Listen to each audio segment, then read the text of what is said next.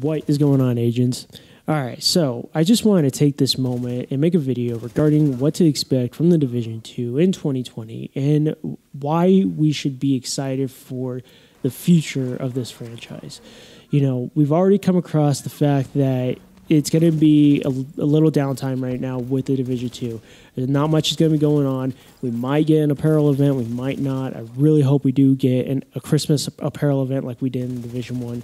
Um, but content wise, you know, we're not going to have the new raid. The episode three doesn't come out into until 2020, but we have so much to look forward to. Now, this video isn't so much a rant rather than just a speculation of what to expect and why the devs are doing it this way. So, we've come to know that the division has a great storyline. You know, we have Aaron Keener, we have uh, the virus. We have everything that has been going on in the world of the division from the Green Poison to DC 62, from the Black Tusk uh, to the Last Man Battalion to President Ellis. We have so much going on in this story. It's it's a lot. You know, it's a lot of story lore, and it's taking multiple paths. You know, the division is trying to understand what the Black Tusk are doing at the same time what President Ellis is doing and why he betrayed the country at the same time what's going on in New York and why Aaron Keener is back there. So there's just so much going on. So what I'm basically trying to get at is there's a reason why we don't have survival. There's a reason why we don't have underground. There's a reason why we don't have everything that the community wants. And that is because there is just too much story going on in this world. And that's not a bad thing. I mean, I, for one, am enjoying the story. I, for one, am very excited to see what is going to happen in episode three. Yeah, it might be two missions and going to New York via helicopter and trying to find Aaron Keener, who we're probably not even going to see there, and we might have a confrontation, and he might get away, just like President Ellis did at uh, Camp White Oak. But it's going to be a lot more than that. And the reason why I'm speculating, and again, this is just a speculation video. I don't have any sources. I don't have anyone on the side saying, "Hey, you know, say this in your video." Say that. I don't have that. This is pure speculation. But I just wanted to give an idea, and probably it, more than likely, this is going to happen. It might not happen the way I'm saying it, but it probably is going to happen. Um, I have no doubt that we can expect survival, underground, resistance, or any other type of event here in year two. And the reason being is because there's just so much going on in this story that they have to gather all the information first before they can, you know, put out survival, before they can put out underground, before they can put out resistance. And the reason being is let's take let's go back a little bit and let's look at the division one. The division one came out and we did have a timeline. We did have an idea of what we can expect from uh, certain content drops. You know, we had the incursions. That was the very first content drop, and everybody was looking forward to it because it was kind of like a raid. All in all, it really wasn't. There wasn't any mechanics involved. It it was more like a very over glorified mission.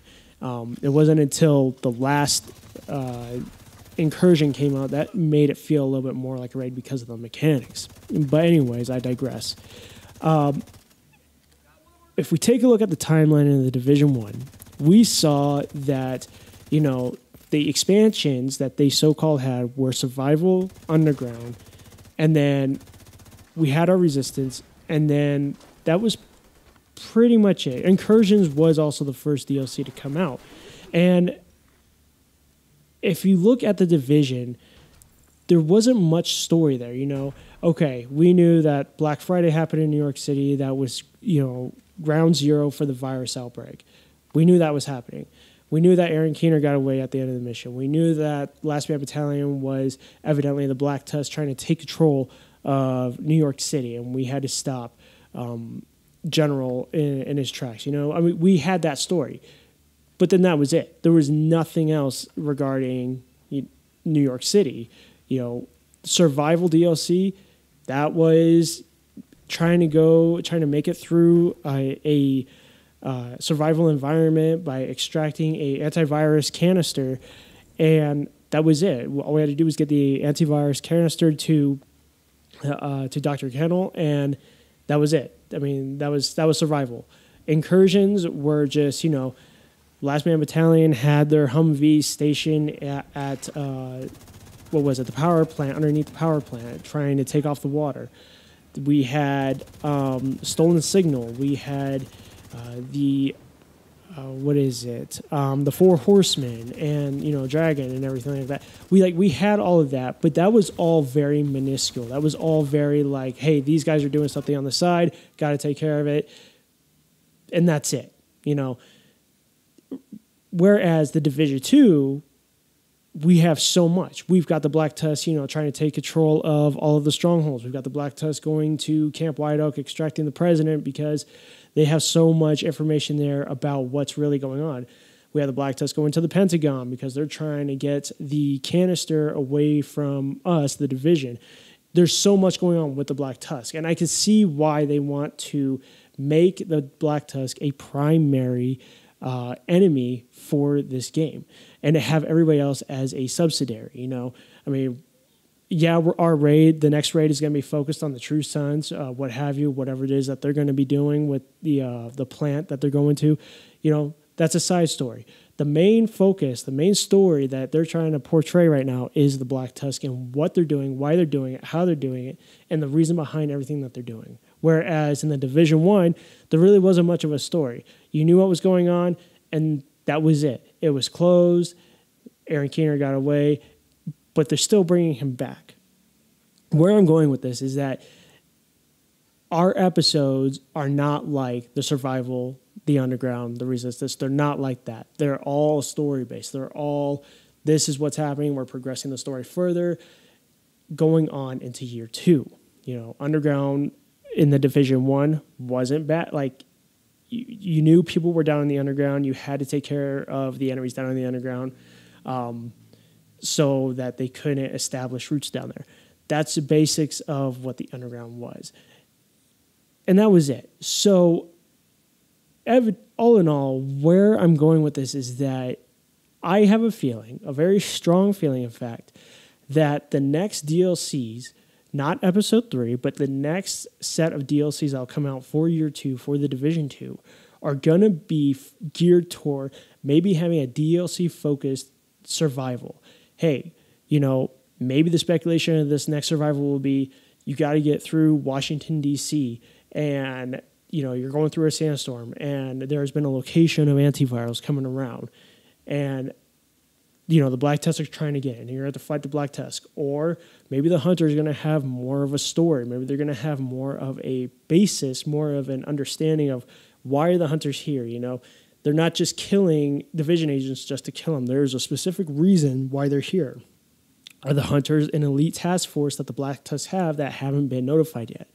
I mean, that could evidently happen.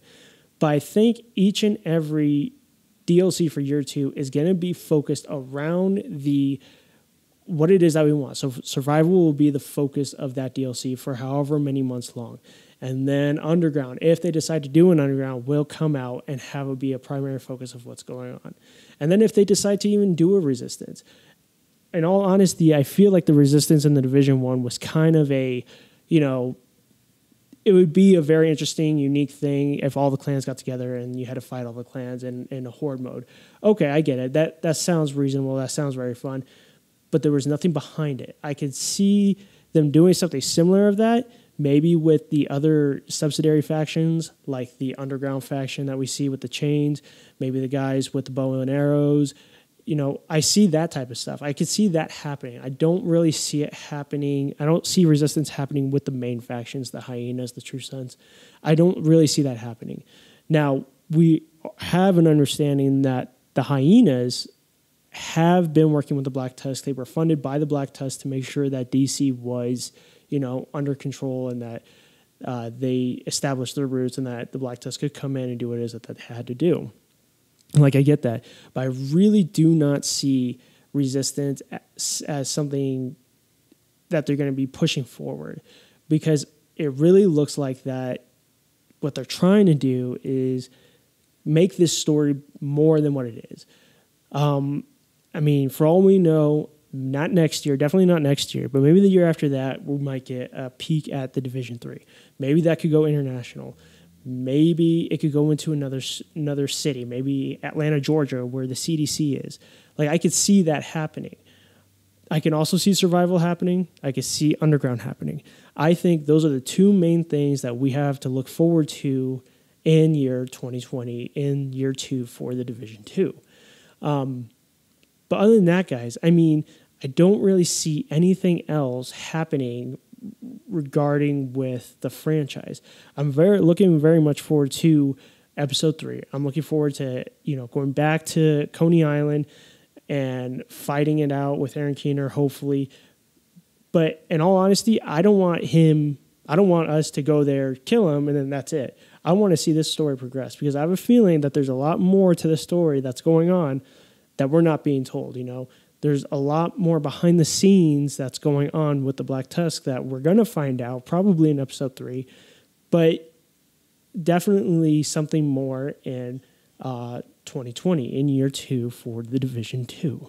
So, other than that, guys, um, I just want to put this video out there. I want to put my thoughts out there. You know, it's hard to say this stuff on Twitter. It's hard to say it through Reddit. Um, so I definitely want to hear your guys' thoughts. Do you guys are you guys looking forward to episode three? Are you looking forward to year two of the Division Two? Is it too soon to start thinking that far ahead, or is it the perfect time, you know, to start understanding? Hey, you know, there might be other things coming on. There might be other things in the background that you know no one is telling us, and that's fine because when the time is right, we will know what's coming. We will know what to expect from the division year two and to see where it's going to progress. I'm really looking forward to you know what they have in store for E3 if they decide to attend E3, which more than likely they probably are because it's going to be a big deal. Um, getting the player base back.